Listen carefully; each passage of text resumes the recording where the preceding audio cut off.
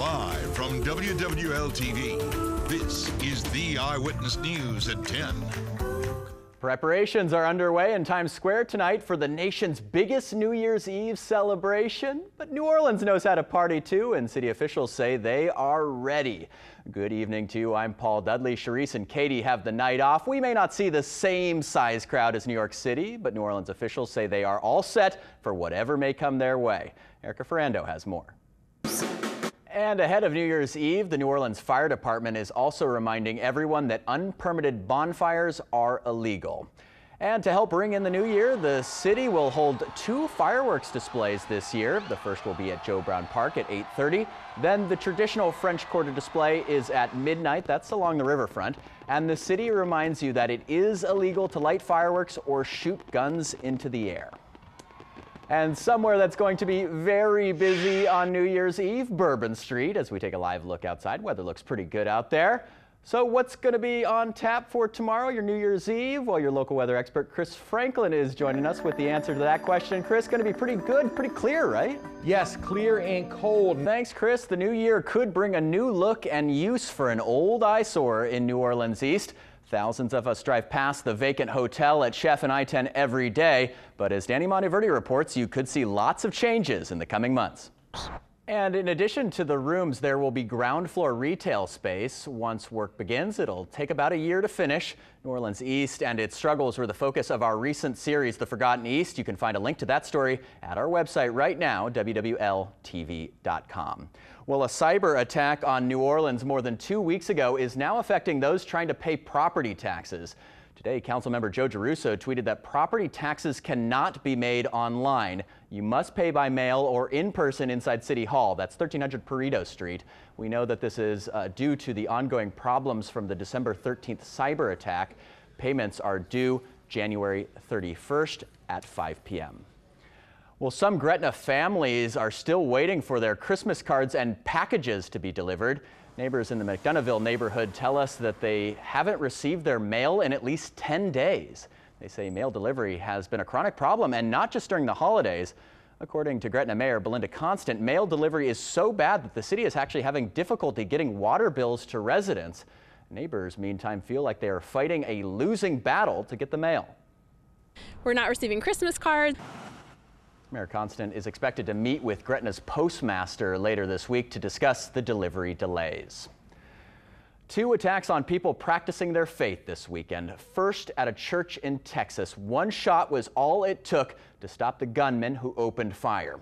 We are learning more about the man who ended the attack within seconds of it starting. It turns out that that man had trained other parishioners on how to shoot just in case there was ever a scenario like the one that played out yesterday. Within seconds of the gunman opening fire in the church filled with 240 people, Jack Wilson pulled out his own gun and fired a single shot, killing the gunman. Texas state law allows weapons in places of worship. And on Saturday, during a Hanukkah party at a rabbi's home in New York, multiple people were stabbed. And today, the accused attacker, Thomas Grafton, faces five charges of hate crimes one for each of the alleged stabbing victims. Prosecutors say the evidence found in the suspect's home and car included handwritten anti Semitic journals and internet searches. All the people from the all of the victims survived, but one of the five victims is still listed in critical condition with a head injury. Well, federal investigators are trying to find more people who saw a deadly plane crash in Lafayette on Saturday. Officials spoke about this this afternoon, and they're trying to piece together actually what caused the crash that killed five people. The full investigation could take up to 18 months to complete. Officials say the plane's equipment was badly damaged, and they don't believe it had a flight data recorder. They also said that there was no distress call made before the crash, but air traffic control had just issued a low altitude warning to the plane. So, yeah. Again, five people were killed in that crash, including sports reporter Carly McCord. Another is in critical condition. A service is being planned for McCord in Baton Rouge on Saturday. You can donate to a scholarship fund in lieu of flowers. In anticipation of the new year and a new decade, we've been gathering up the stories that impacted us most. We'll have a look at those coming up. Plus, we'll have a full look at your forecast if you plan on going out to ring in the new year. Stay tuned.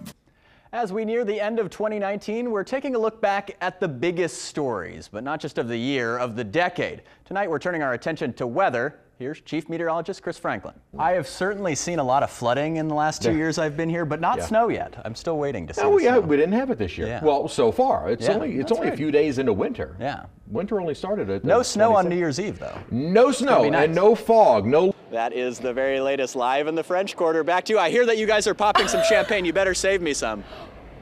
Ready? Look, we got we got a glass for you, Paul. Good evening, everyone. I'm Karen Swenson. And I'm Paul Dudley in for Katie Moore. It is always a good Monday when we're coming off a Saints win. And Karen, now we're looking forward to the playoffs. Indeed, the Saints will open their playoff run at home against the Vikings on Sunday at noon. And believe it or not, another controversial pass interference call hurt the Saints this weekend. Sports director Doug Mouton joins us with that story. Well, from the ACs to the heaters, it has been a drastic change. It's a roller coaster, right? The colder weather came in overnight. Your local weather expert, Chief Meteorologist Chris Franklin, is here to tell us if this weather is going to be sticking around through the new year. Chris? The colder weather brings a higher risk for fires, and unfortunately, some of those can be deadly. That was the case in Lafourche Parish over the weekend. Last night, the Chack Bay Fire Department arrived to find flames coming from the back of a house on Highway 307. They later found the body of a man inside. The cause of that fire is still under investigation. That was the ninth fire fatality in Louisiana in just the past few weeks. All of the others were in the northern part of the state. It's actually led the state fire marshal's office to make a plea to Louisiana families to take home fire safety seriously.